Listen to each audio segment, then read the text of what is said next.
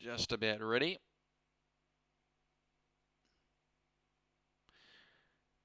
And they're off and they're racing. And Hacker's on the inside and the Chestnut Horse on the outside. Uh, just shading him at the moment is Don't Forget This as the pair are about to work off the back straight now.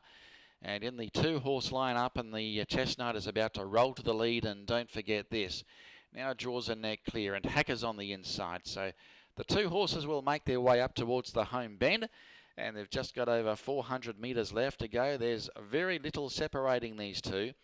Hacker's got the inside running, and on the outside, in second placing there as they travel up towards the home turn is Don't Forget This. But as they turn in, and now Don't Forget This starts to draw away from Hacker and put up two and a half lengths. Now draws four lengths clear and is edging further ahead.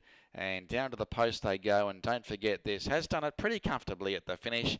And Don't Forget This wins. Hacker was back in second spot.